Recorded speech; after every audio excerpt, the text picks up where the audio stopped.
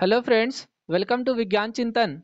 Today I am going to discuss a question from class 9th science chapter number 8 motion.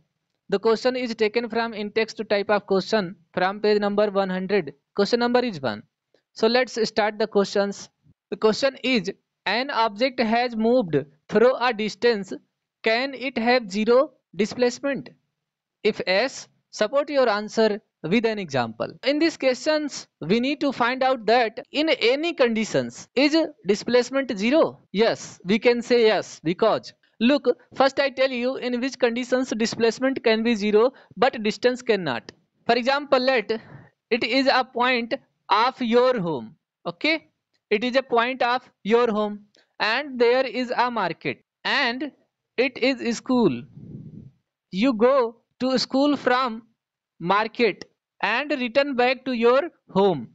Okay. So in this case from which position you start you reached there. If your initial point and ending point will same the displacement will be zero but distance is traveled okay. So let's start write the answer. Answer is s. Displacement can be zero even an object moved some distance moved some distance. For example a student go to school from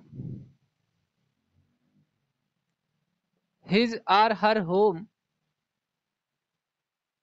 and return back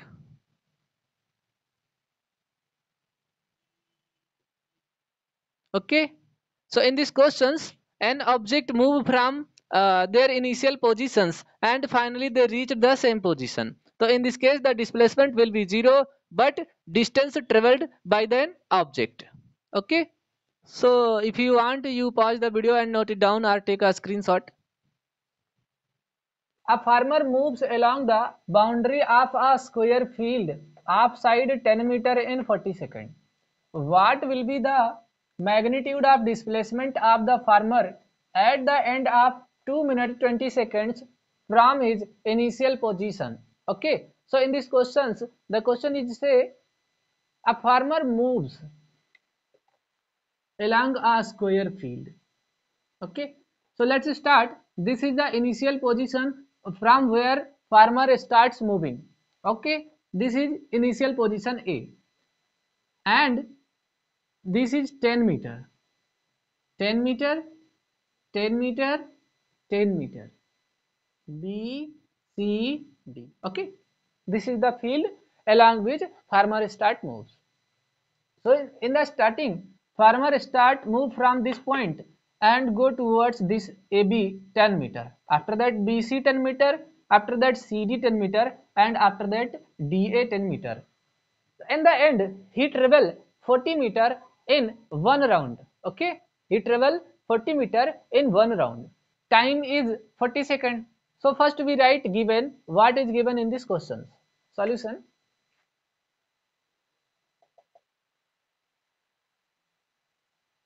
given the first thing which is given is side of a square field is 10 meter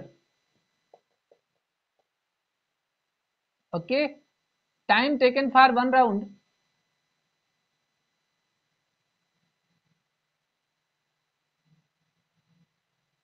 time taken for one round is 40 second total time taken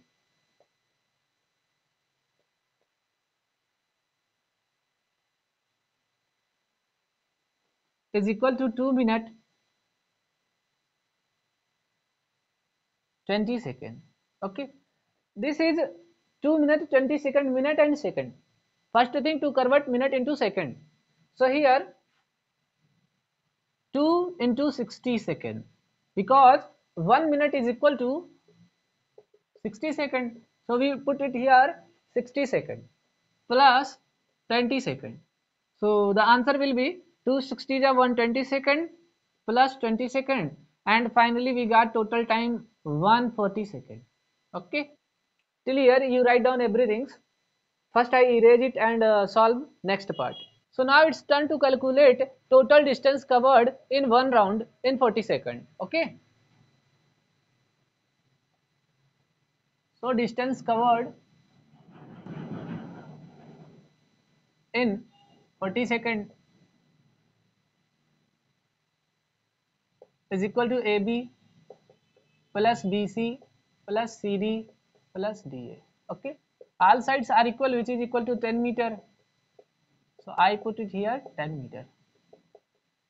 You also can say the distance covered in 40 second is equal to perimeter of the square. So it will be 40 meter. If he cover 40 meter distance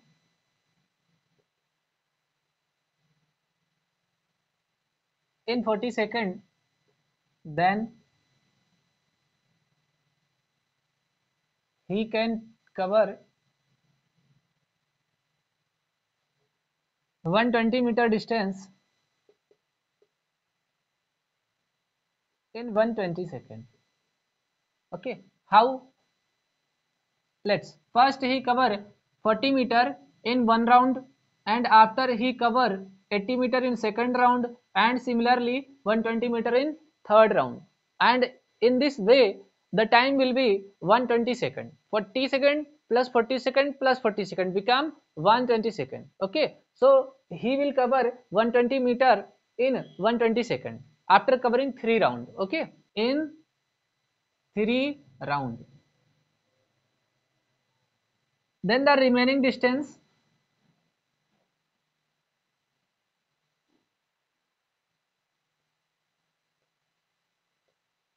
then the remaining distance will he cover?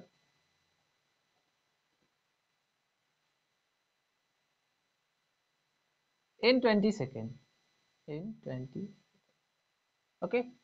So if i say he cover 40 meter distance in 40 second then he cover 1 meter distance in 1 second. And in uh, in 10 second he cover 10 meter distance.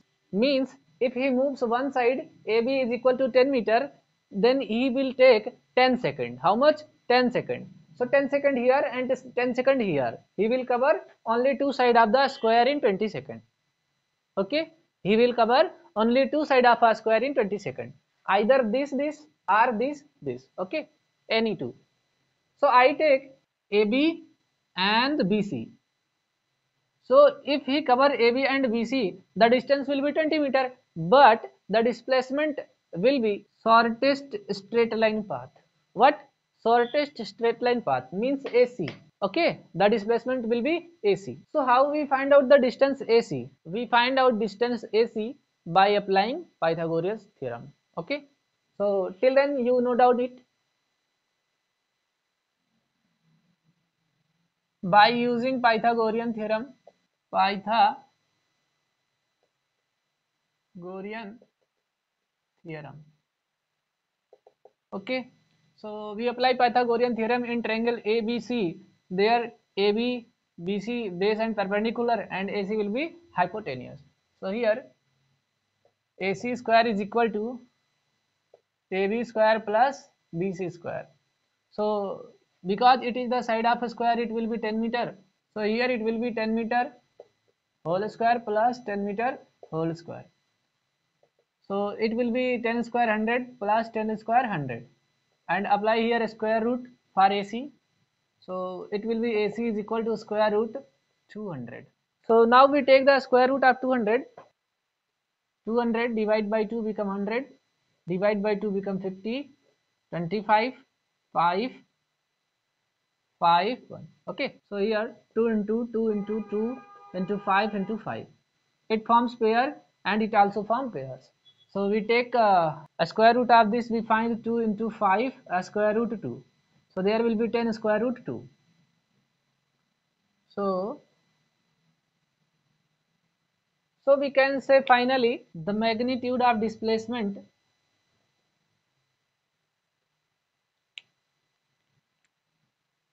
is 10 square root 2 meter in 120 second okay so this will be answer. Question is 3 so let's start the questions. Which of the following is true for displacement? Option a it cannot be 0 b its magnitude is greater than the distance traveled by the object. So in these questions uh, we need to find out that it is true or false. Both options are false. Okay? So let's start. For example uh, if you uh, go to school this is your home market and school. Market is between school and home and the way to travel is a triangular shape. Okay?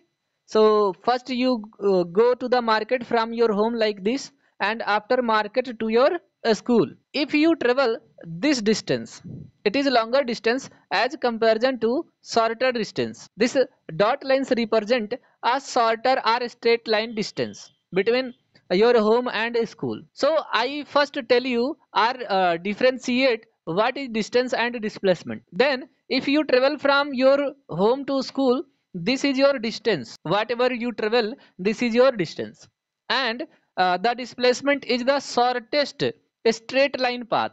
Displacement is what? Shortest straight line path between two point. So this is the shortest straight line path between your home and your school so this is called displacement.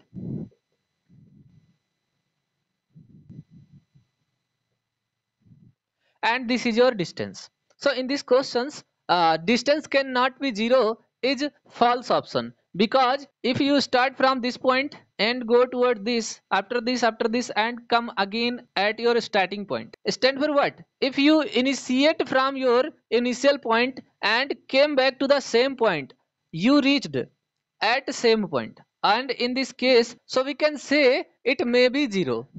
And answer is false. So we can say answer false.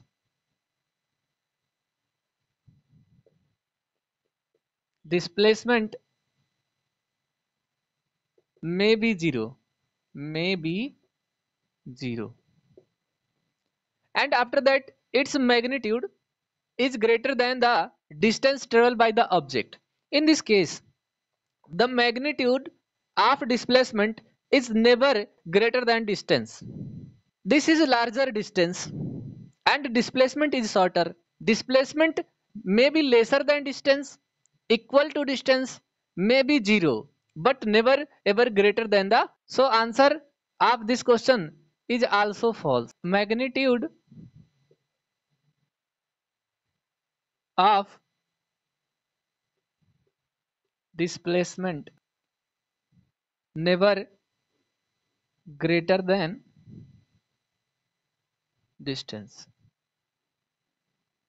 Okay?